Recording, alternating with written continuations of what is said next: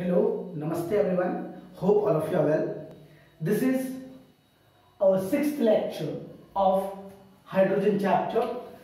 Till yet we have completed the five lectures. This is the sixth one.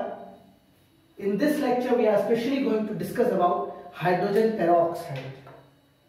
From lecture number 1 to lecture number 5 journeys I have each and every topically wise I have made lecture. As you can see our first lecture was based on the position of hydrogen and the occurrence of hydrogen. Second was specially made up of the preparation, physical and chemical properties and uses of dihydrogen. Third was specially made up of hydrides. Fourth was made up of water. Fifth was hardness, temporary hardness and permanent hardness, hard and soft water. This is the sixth lecture which is specially based on hydrogen peroxide. All of you know what is peroxide. The word itself explains peroxide. Peroxide means oxygen oxygen self link is called peroxide. And generally we pronunciate as peroxide also hydrogen peroxide or hydrogen peroxide. There is no difference between peroxide and peroxide. Yeah, many times question you are having this, uh, what is this peroxide? And hydrogen peroxide means what? Oxygen, oxygen self-link is called peroxide. And here, both the oxygen atoms are attached with hydrogen atom. This is an oxidizing and reducing agent both, hydrogen peroxide. Many times question comes on what is the uses of this hydrogen peroxide? Hydrogen peroxide is an important chemical which is specially used in pollution control, treatment of domestic and industrial effects.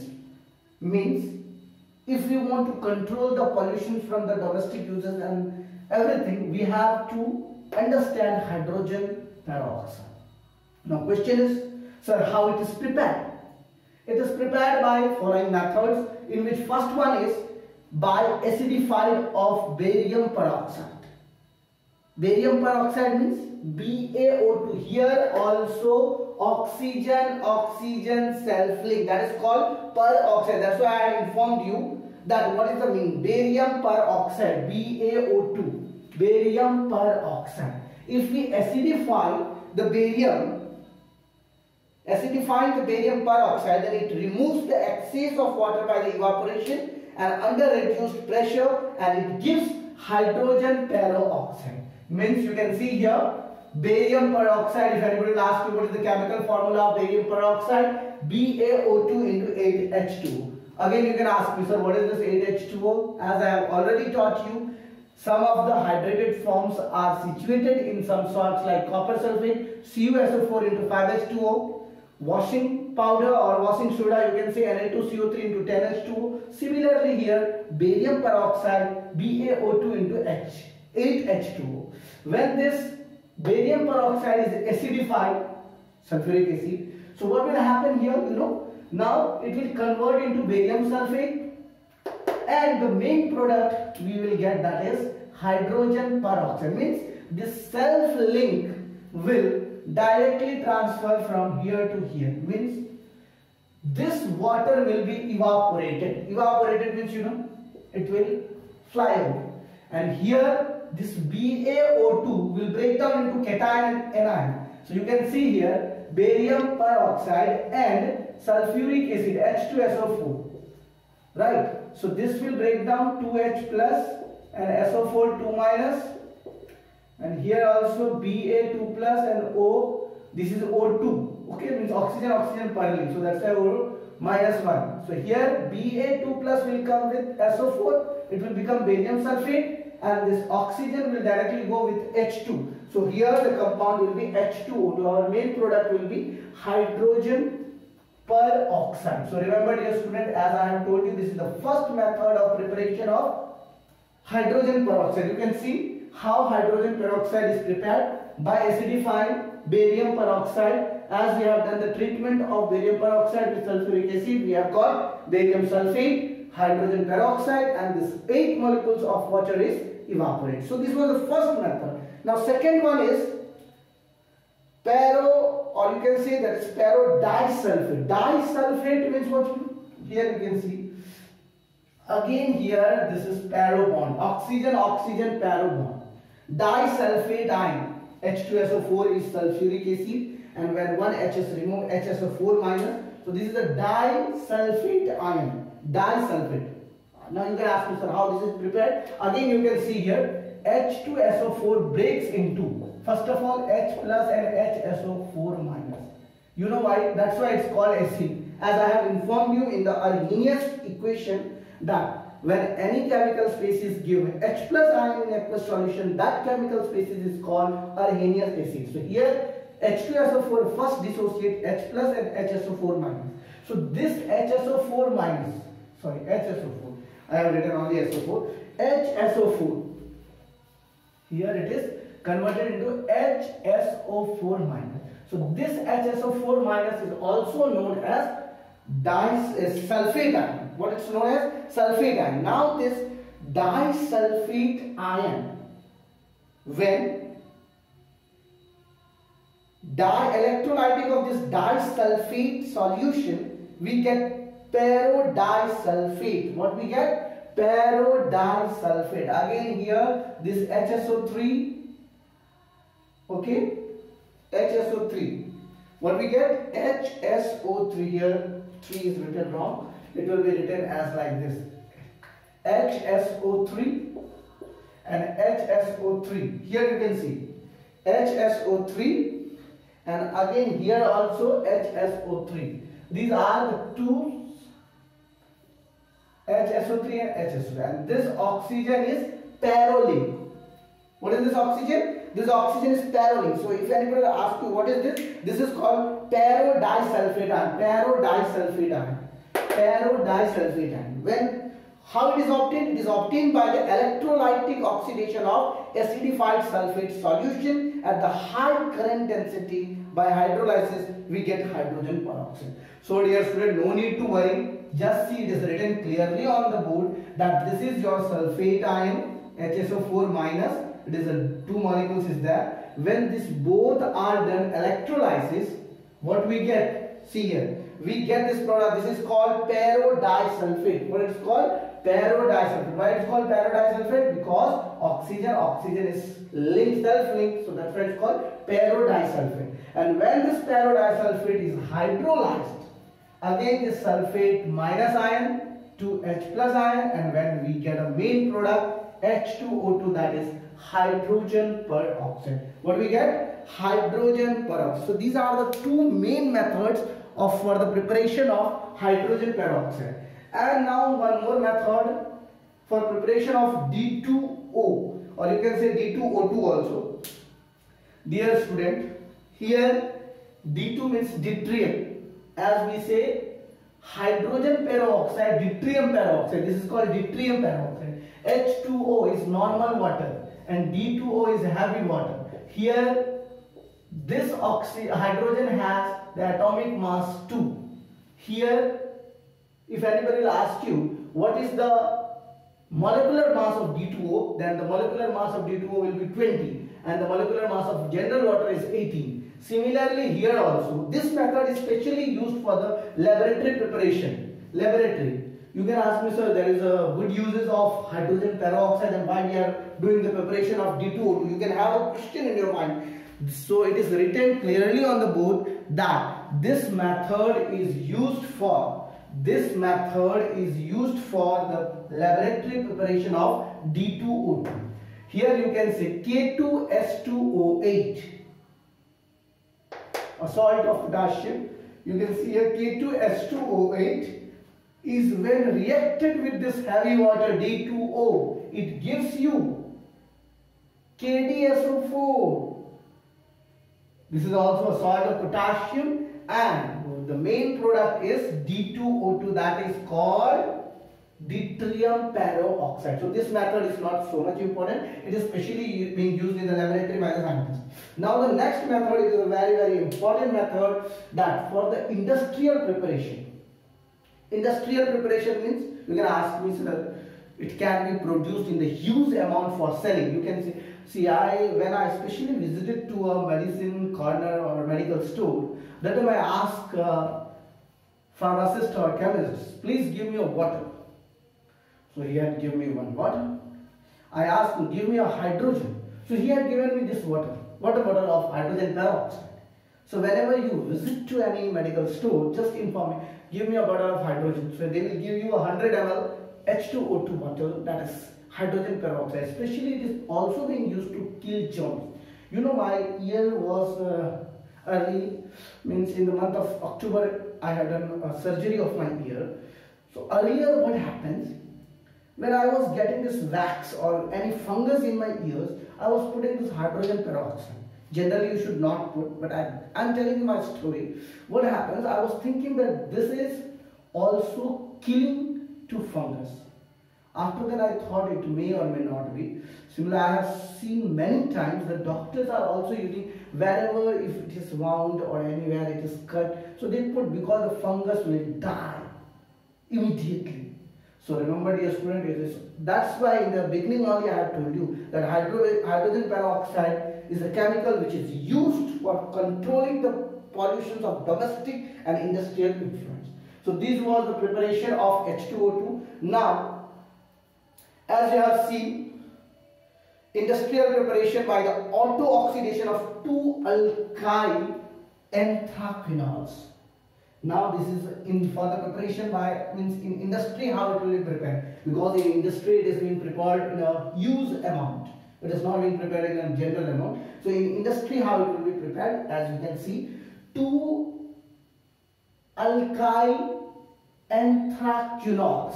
Now you can ask me sir ye kya hai? What is this anthraquinols? It is a compound. I hope that you know. Benzene type का compound है. Quinone जानते ही होंगे सब लोग. So here two alkyl anthraquinols. तो two alkyl anthraquinols को जब हम लोग reducing agent in the presence of air करवाते हैं तो हम लोगों को हाइड्रोजन पेरोक्साइड और वो अल्काइल कंपाउंड का ऑक्सीडाइज प्रोडक्ट बाहर निकल जाता है। तो ये जनरली होता क्या है? Specially in the industry weapons they produce in huge amount so there definitely they are going to get a by product so this by product will be alkyl product and here by doing the reduction of or mean you can just see oxygen के presence में oxidise मतलब oxidation समझो, ये reducing agent हो गया। तो यहाँ पर टू इथाइल एंथ्राक्विनोन यहाँ पे अल्काइल के रूप में इथाइल है। So two ethyl anthraquinone is when prepared with auto oxidation auto oxidation का मतलब यहाँ पे खुद से मतलब एयर जो प्रेजेंस है हमारे हवा में, वो oxygen in the presence of H2 by PD palladium तो ये ऑटोमेटिकली आपको हाइड्रोजन पेरोक्साइड और इसका कुछ ऑक्सीडाइज्ड प्रोडक्ट बाहर निकलेगा। अब क्वेश्चन यहाँ पर ये आता है कि, सर, ये मेथड जो आप प्रिपेयर हमें करना सिखा रहे हो, ये क्या प्योर है? इस केस में सिर्फ़ one percent hydrogen peroxide is form it is extracted with the water and concentration to 30% by mass by the distilled under reduced pressure. It can be further concentrated to 85% by careful distillation and under the low pressure, the remaining water can be frozen out to obtain H2O2. So, सबसे पहले you should remember that only one percent you will get when you do this preparation you will get only one percent of H2O2 and after getting this one percent of H2O2 you have to do the concentration into the distillation and the remaining water will be frozen and you will get the pure H2O2 the 85 percent of that. So this was the preparation of H2O2. Now physical and chemical properties and structure and uses. See whenever we are doing anything preparation that time we should get a knowledge कि sir आप ये क्या सब करने वाले हैं तो सबसे पहले किसी भी चीज़ का प्रिपरेशन होता है उसके बाद प्रॉपर्टीज़ दो तरह के physical and chemical and then uses so let's start physical property similarly जैसे हम लोग पानी के बारे में जानते हैं वैसे ही इसका भी है it is a pure almost colourless liquid इसका भी कोई कलर नहीं होगा so this was the preparation I hope all of you have taken a screenshot of this board otherwise you can write this things in your notebook अपने notebook में इसको लिख लो। और उसके बाद जो सेकेंड टॉपिक है हमारा, वो है फ़िज़िकल प्रॉपर्टीज़ और उसके बाद हम लोग पढ़ेंगे केमिकल प्रॉपर्टीज़ के बारे में।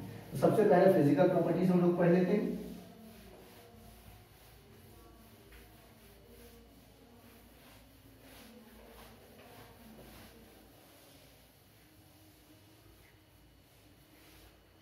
चलिए physical property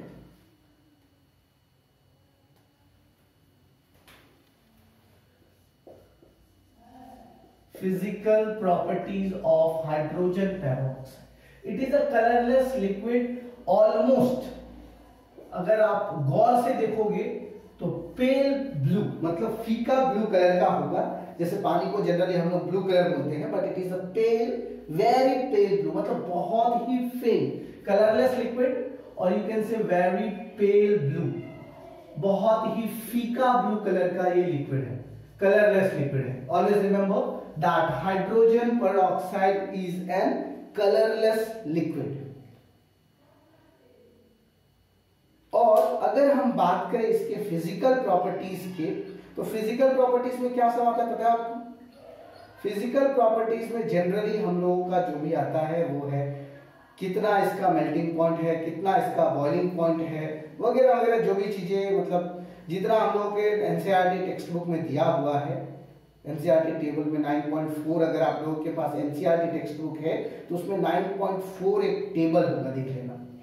है आप लोगों के पास NCERT just go through the table 9.4 तो उस 9.4 टेबल में आप लोग देखना कि दिया हुआ है बहुत ही अच्छे से। जस्ट अ सेकेंड 9.3 जो है H2 और D2O के बारे में राइट? और 9.4 कहाँ गया कहाँ गया? 9.4 ये रहा। उसी के नीचे में आप लोग देख लेना। मेल्टिंग पॉइंट इसका 272 पॉइंट मतलब अप्रोक्सीमेटली ज़ीरो डिग्री सेल्सियस के पास है। मेल्टिंग पॉइंट इसका 272.4 कैलविन कितना? 272.4 कैलविन याद रखना। अप्रोक्सीमेटली हम लोग कह सकते हैं ज़ीरो डिग्री अप्रोक्सीमेटली अब बॉइलिंग पॉइंट इसका कितना होगा? बॉइलिंग पॉइंट ज़्यादा है। पानी से बहुत ही ज़्यादा है इसका। 423 याद रखना, अगर दोनों का डिफरेंस पूछे तो एक चीज़ तो हमारा सबसे पहले आ गया कि वाटर का बॉइलिंग पॉइंट 300 373 होता है 373 केल्विन लेकिन इसका जो है उससे ज़्यादा हो गया 423 केल्विन वेपर प्रेशर अगर हम बात करें तो 1.9 mmHg होगा। इसका डेंसिटी होता है 268.5 किलोग्राम पर सेंटीमीटर क्यूब याद रखिएगा इसका डेंसिटी जनरली जो जो लिखा जाता है वो सब अपने नोटबुक में ज़रूर लिखना क्योंकि इसका क्या होता है कि फ़िज़िकल प्रॉपर्टीज़ और केमिकल प्रॉपर्टीज़ हम लोगों को लिखना ज़रूरी होता है। तो हम लोग लिख सकते हैं डेंसिटी इसका हो गया 268.5 किलोग्राम पर सेंटीमीटर क्यूब में इसका 1.64 होगा। 1.64 कितने में होगा? याद रखना 268.5 किलोग्राम पर सेंटीमीटर क्यूब में। तो ये इसके कुछ फ़िज़िकल प्रॉपर्टीज़ हो गए, ज़्यादा नहीं हम लोगों को लिखना है।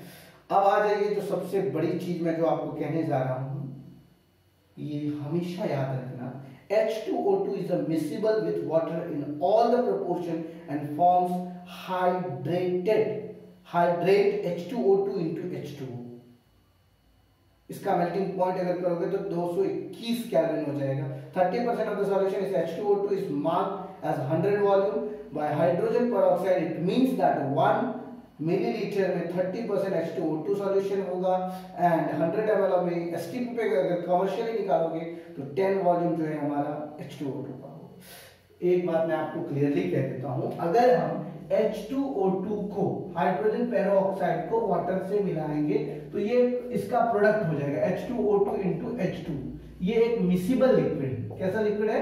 मिसिबल मिसिबल मतलब घुलनशील मिसिबल लिक्विड है।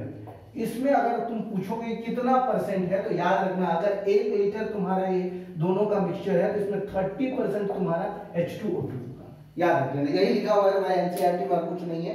एक प्रॉब्लम है तुम्हारा एनसीईआरटी में 9.5 calculate strength of 10 volume solution of hydrogen वही कह रहा है कि 10 वॉल्यूम में कितना होगा? 10 वॉल्यूम्स में कितने होंगे? तो सीधा सीधी one volume H2O2 solution will give 10 liter of oxygen at STP यही है क्वेश्चन तुम्हारा, कि 10 volume of solution H2O2 means हो गया one volume of H2O2 solution will give 10 liter of oxygen at STO so on the basis of this equation you can say 22.7 liter of oxygen produced in 68 gram of H2O2 at STP तो 10 litre of O2 STP पे कितना होगा 68 into 10 122.7 that is 29.9 30 gram of H2O2 मिलेगा वही चीज़ जो मैंने बताया अगर एक लीटर में 30 परसेंट है तो 10 लीटर में कितना होगा? तीन लीटर होगा। इसका 30 परसेंट ही होगा। तो वही चीज़ वहाँ पे लिख दिया है थ्री परसेंट अगर 30 ग्राम पर लीटर हो गया तुम्हारा, एक लीटर में 30 ग्राम पर लीटर। तो एक लीटर में तुम्हारा 30 ग्राम हो गया H2O2 तो 10 लीटर में कितना होगा? तीन लीटर 300 हो जाएगा। तो वही चीज़ आप लोगों को हमेशा याद रखना थ्री परसेंट उसमें तुम्हारा होगा। जनरली जो हम लोग अगर ये मिलाते हैं लिक्विड में, इस दोनों को मिलाते हैं तो ये लिक्विड हमारा घुलनशील होगा मिसिबल लिक्विड होगा वोलाटाइल होगा और इसमें 30 परसेंट जनरली लेकिन जब मिलाओगे इक्वेशंस बनाओगे तो ये जैसे ये यहाँ पर एक इक्वेशंस अभी हमने देखा कि यहाँ पर थ्री परसेंटेज है। चलो, इसके बाद हम इसके स्ट्रक्चर की बात करते हैं, जो बहुत ही इंपॉर्टेंट स्ट्रक्चर है। हमेशा याद रखना है H2O2 का ओपन बुक स्ट्रक्चर है। ओपन बुक स्ट्रक्चर का मतलब क्या होता है? कोई पूछेगा तुमको what is this open book structure तो ओपन बुक का मतलब हुआ, खुला हुआ किताब। बोलोगे, सर, ये कैसे होता है? खुला हुआ किताब कैसे होगा? पूछ सकते हैं आप तो मैं आपको बताता हूँ, देखो। समझ जाओ, ये आपका बुक का बीच वाला जो पेज जो हम लोग टर्न करते हैं तो ये पेज टर्न करने वाला हो गया आपका। यहाँ से ये डॉट डॉट बना देता हूँ। ये जनरल स्ट्रक्चर है, इसको ओपन बुक स्ट्रक्चर कहा जाता है। तो जनरली आप देख लीजिए। समझ जाओ, ये आपका बुक है। ठीक है? ओके ये आपका बुक का एक पेज हो गया। और थोड़ा आगे जाने इसको, और थोड़ा। ये एक बुक हो गया। ये तुम्हारा दूसरा बुक हो गया। बराबर? ये दोनों बुक का समझ जाओगे तुम्हारा पेज टर्न पेज है। टर्न पेज मतलब तुम्हारा बुक खुला हुआ है ओपन बुक स्ट्रक्चर है तुम्हारा।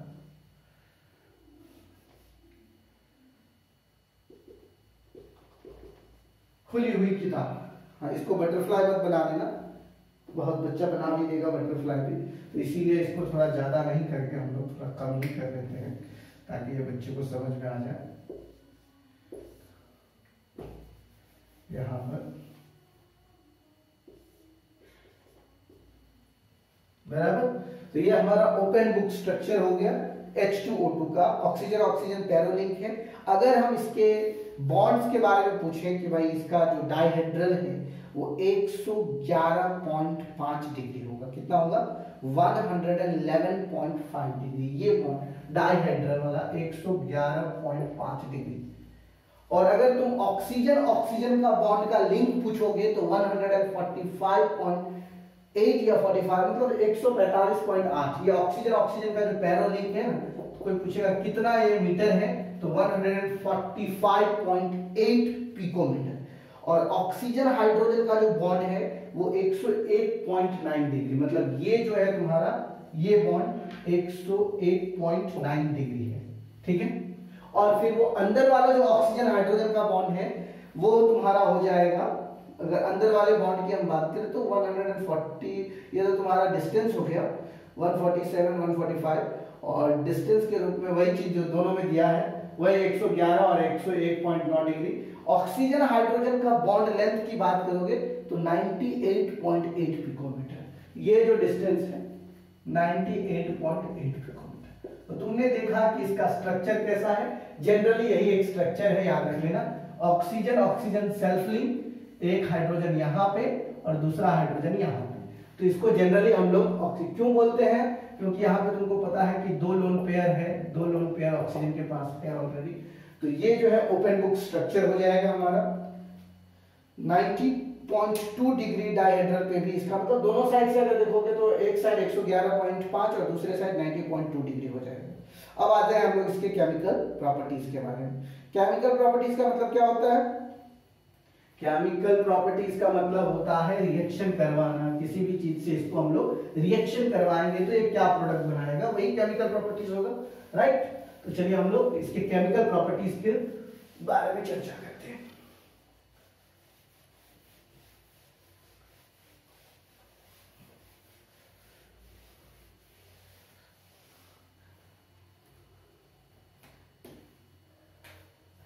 Chemical properties of H2O2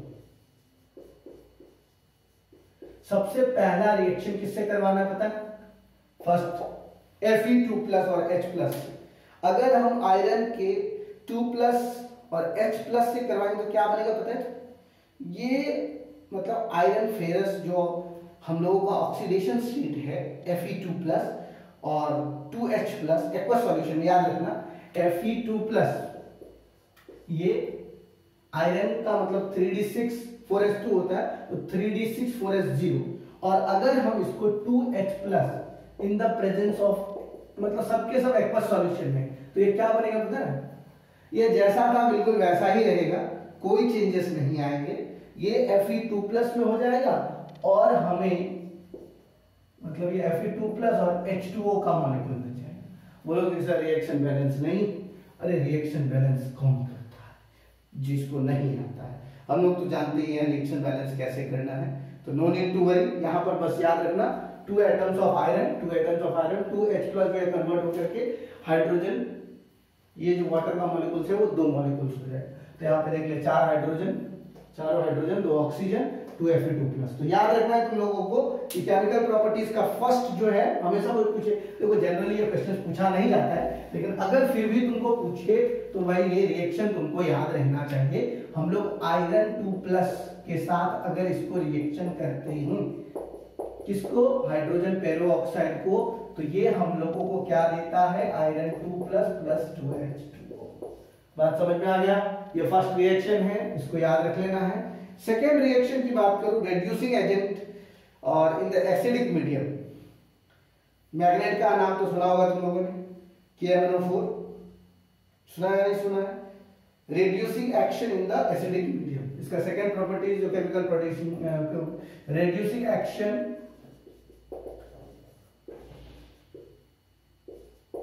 in किसमें होगा? कौन से मीडियम में? एसिडिक मीडियम रिड्यूसिंग एक काम करेगा मतलब याद रख लेना, ये दोनों काम काम करता है। रिड्यूसिंग का भी और ऑक्सीडाइजिंग का भी। मैं दिखा रहा हूँ दोनों का। तो यहाँ पर मैग्नेट आयन 2MnO4 माइनस को अगर हम वापस ये H प्लस जो है, जैसे वहाँ पर 2H प्लस था, यहाँ पर 6H plus plus 5H2 6H plus plus 5H2 अब मुझे बताओ क्या बनेगा? अच्छा मैग्नेट को अगर हम हाइड्रोजन आयन से करेंगे तो क्या बनेगा पता है तुमको? एसिडिक मीडियम में है, हमेशा याद रखना, एसिडिक मीडियम में क्या होगा? ये मैंगनीज जो है, एनायन मतलब कैटायन में टूट जाएगा। और कितने मॉलिक्यूल्स वाटर निकलेंगे बताया तुमको? दस और छह हाइड्रोजन हो गए तो सोलह हो गया तो सोलह मतलब एट एच टू ओ हो जाएगा। कितना हो जाएगा? Eight H two O plus चार दो आठ दो दस फाइव ओ टू अब देखो तो रिएक्शन बैलेंस है। बोलोगे कि सर मैंगनीज यहाँ पर एक है वहाँ पे दो है। तो भाई दो लगा दो आगे में। हो गया रिएक्शन बैलेंस दो मैंगनीज चार दुना आठ, पाँच, तेरह ऑक्सीजन आठ और पाँच, तेरह ऑक्सीजन ऑक्सीजन ज़्यादा हो गया क्या? हाँ भाई सर यहाँ पे वाटर नहीं है, ये H2O2 है। सॉरी देखो, याद रखना केमिकल रिएक्शन में हम लोग इसके साथ reaction reduction action in the acidic medium और oxidising action in basic medium याद रखना, ये दोनों का काम करता है ऑक्सीडाइजिंग एजेंट का भी और रेड्यूसिंग एजेंट का भी। Oxidising action in basic medium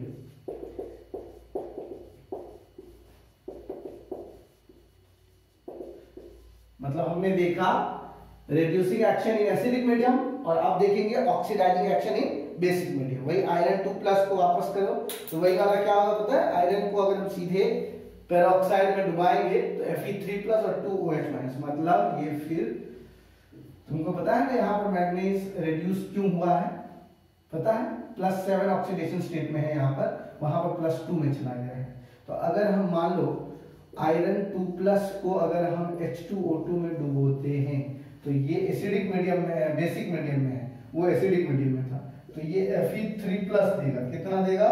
Fe3 plus याद रखना बच्चों, ये Fe3 प्लस देगा और ये बेसिक मीडियम में क्या हो जाता है तुम लोगों को पता होगा? OH माइनस राइट तो तुम देख लो यहाँ पर 2 प्लस से 3 प्लस हुआ है मतलब ऑक्सीडेशन हुआ है तो ये ऑक्सीडाइजिंग एजेंट और रिड्यूसिंग एजेंट दोनों का काम करता है। और वो एम एन टू प्लस है ना, वापस एम एन टू प्लस को अगर हम इसको H2O2 में डुबोएँगे तो ये वापस किसमें कन्वर्ट होगा पता है तुमको? Mn2 प्लस वापस ऑक्सीडाइज होकर के Mn4 प्लस में हो जाएगा। किसमें हो जाएगा? Mn4 प्लस और वापस 2OH माइनस समझ में आ गया बच्चों? तो ये H2O2 ऑक्सीडाइजिंग एजेंट और रेड्यूसिंग एजेंट दोनों का काम करता है। एक है reducing action in the basic medium हाँ अगर ये भी बहुत अच्छा है। Reducing action in the basic medium मतलब ये oxidising action in also in basic medium and reducing action in basic medium also मतलब बेसिक मीडियम में दोनों का काम करेगा। ऑक्सीडाइजिंग का भी और रिड्यूसिंग का भी। ठीक है? बोलोगे, कैसे काम करेगा सर? नो प्रॉब्लम H2O2 को OH के साथ रिएक्शन करो। आयोडीन है?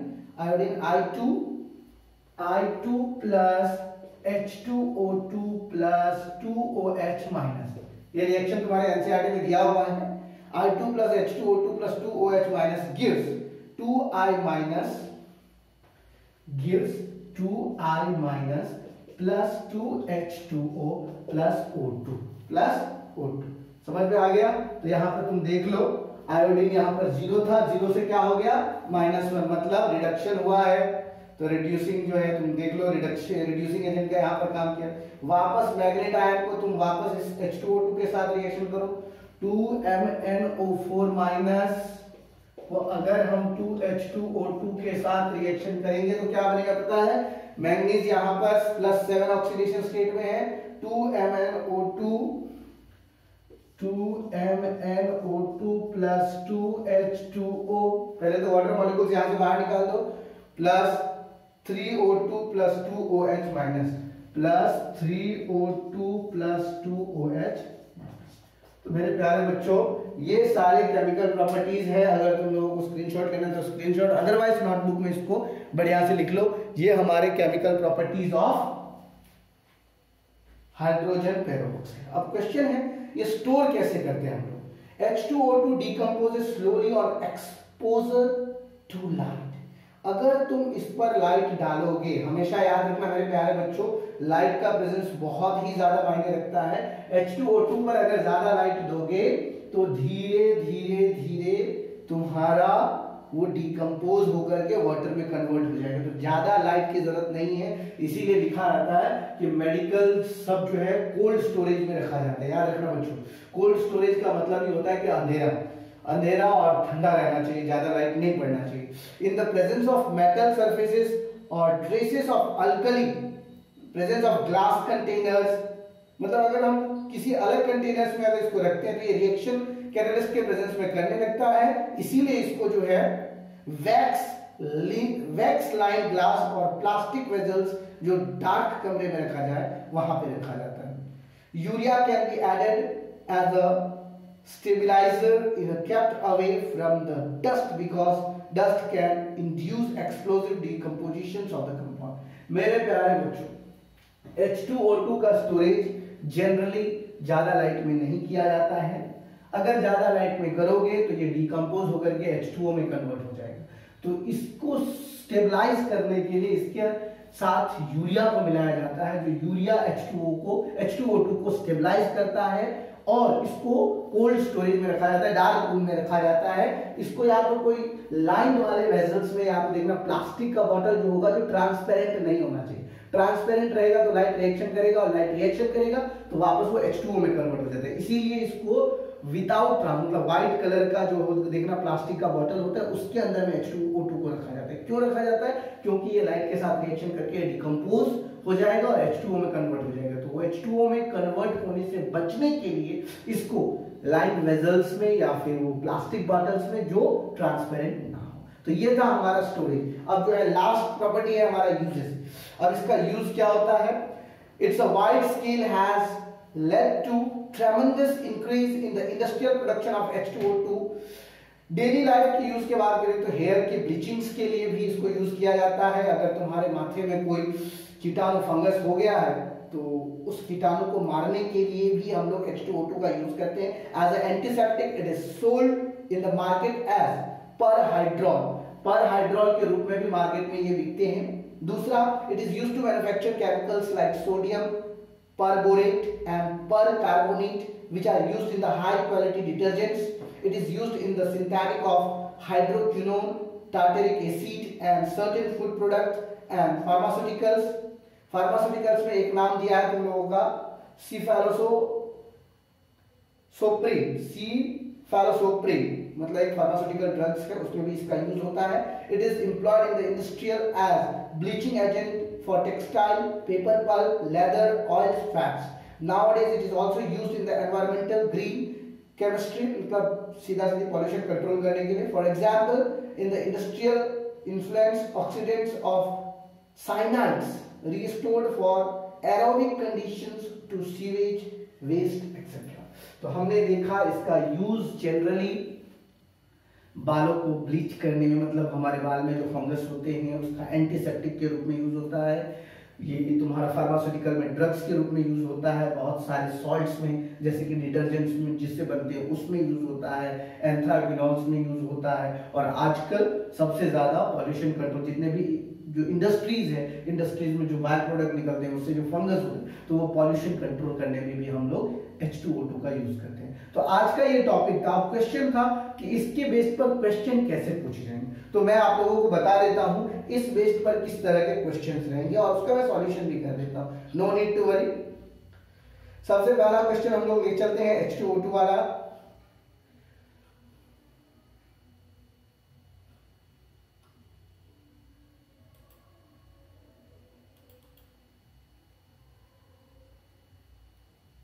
Just a second.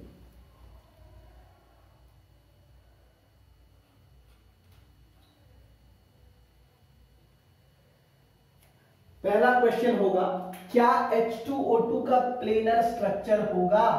यस और नो तो क्या होगा आपका जवाब? ये प्लेनर स्ट्रक्चर नहीं होगा। ऑक्सीजन ऑक्सीजन तो सेल्फ लिंक होगा और हाइड्रोजन को ये बेंड करवा देगा क्योंकि इसके पास दो लोन पेयर इलेक्ट्रॉन है, जिस कारण से इसका प्लेनर स्ट्रक्चर ना होकर के नन प्लेनर स्ट्रक्चर होगा। तो पहला क्वेश्चन हो गया हमारा H2O2 का क्या प्लेनर स्ट्रक्चर होगा? तो पहला आंसर होगा no H2O2 will not give planar structure right दूसरा, अगर H2O2 को रिएक्शन करवाएँगे हम लोग H2O के साथ तो कौन सा प्रोडक्ट देगा? H2O2 into H2 कितना परसेंट रहेगा? 3 टू 30 परसेंट रहेगा। याद रख लेना है आप लोगों को। ठीक है? उसके बाद अगर हम बात करें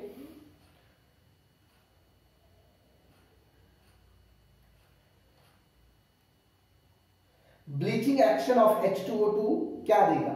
तो ब्लीचिंग एक्शन में अगर हम बात करें H2O2 act as a bleaching agent due to oxidation it oxidises the colouring matter to the colourless product मतलब किसी भी कलरफुल प्रोडक्ट को अगर तुम H2O2 के साथ रिएक्शन करते हो तो वो कलरलेस होगा।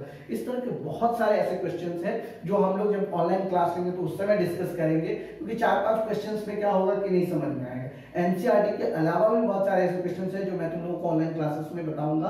अभी फ़िलहाल जो जो टॉपिक हमने कवर किया, जैसे ये सिर्फ़ और सिर्फ़ वीडियो था हाइड्रोजन पेरोक्साइड के बारे में। क्या है हाइड्रोजन पेरोक्साइड किस तरह से उसके प्रिपरेशन होते हैं? क्या क्या फ़िज़िकल प्रॉपर्टीज़ है, क्या केमिकल प्रॉपर्टीज़ है, कैसे स्टोरेज है, कैसे यूजेस है, और सबसे बड़ा स्ट्रक्चर कैसा है? तो इसके स्ट्रक्चर बेस्ड पे ही जनरली क्वेश्चन पूछे जाते हैं और ज़्यादा कुछ नहीं पूछा जाएगा। आज के लेक्चर के लिए बस इतना ही। Thank you thank you very much don't forget to like and subscribe my channel share this video with your friends so they can be also benefited thank you thank you very much